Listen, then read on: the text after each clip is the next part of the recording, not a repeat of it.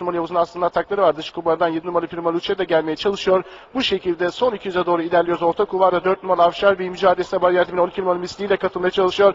En dış kuvardan da 3 numaralı Ugara Bugara Hu'nun ataklarını izliyorum. 7 numaralı Prima Luce ile birlikte son 200 bu şekilde geçiliyor. Orta kuvarda 4 numaralı Avşar Bey farkı şimdi 3 boya kadar çıkardı. Tekrardan geriden 7 numaralı Prima Luce'nin ve hemen içinden 3 numaralı Ugara Bugara'nın atakları var ama son metrelerde fark 4 hatta 5 boy.